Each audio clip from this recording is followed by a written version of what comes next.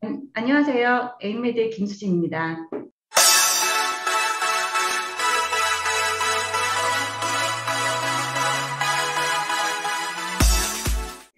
네, 저는 서울대 의대를 졸업하고 정신건강의학과 전문의로서 실제 환자들을 어, 봐오던 의사였습니다. 그러다 지금은 에인메드라는 회사에서 디지털 치료제를 만들고 있고요.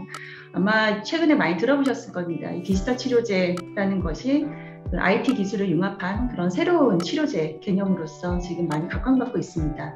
그래서 실제로 산업 현장에서 어, 이런 기술이 우리의 IT 그 빅데이터가 어떻게 사람의 마음과 행동을 움직여서 사람을 실제로 치료하는가에 대한 현장의 이야기를 들려드릴까 합니다.